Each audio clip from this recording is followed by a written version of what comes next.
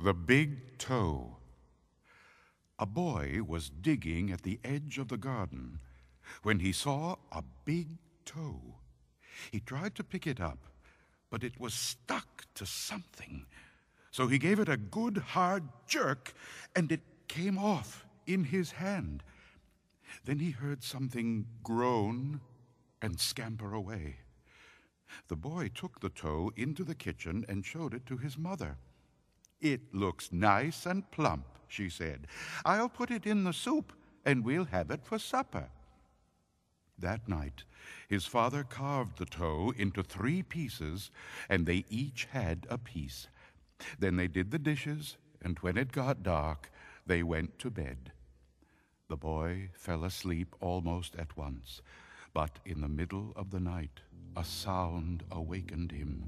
It was something out in the street. It was a voice, and it was calling to him.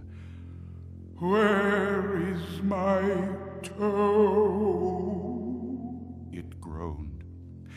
When the boy heard that, he got very scared, but he thought, It doesn't know where I am. It will never find me.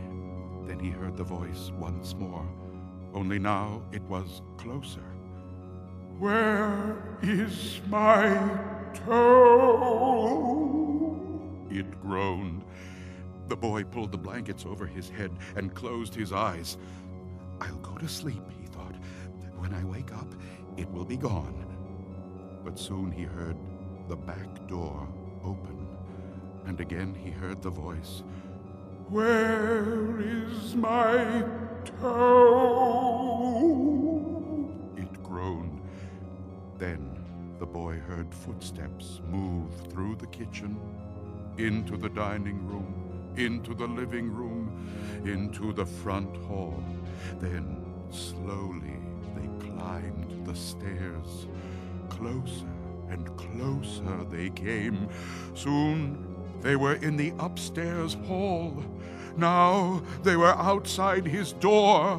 Where is my toe? The voice groaned. His door opened. Shaking with fear, he listened as the footsteps slowly moved through the dark toward his bed. Then they stopped.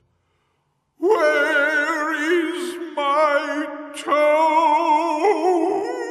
The voice groaned. You've got it!